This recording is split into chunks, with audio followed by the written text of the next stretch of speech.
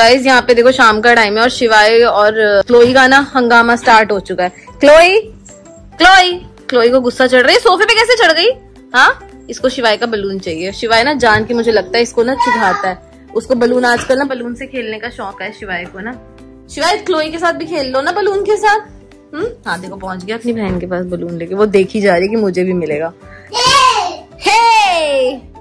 इसको देखो, ये लगातार देख रही है बलून मिलेगा। नहीं मिलेगा, ऐसे उतारना पड़ेगा, खुद भी मेहनत करनी पड़ेगी ओके क्लोडो